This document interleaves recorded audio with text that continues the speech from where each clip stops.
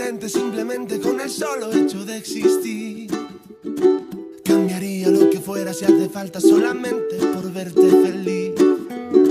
Tanto tiempo esperando una promesa, una caricia.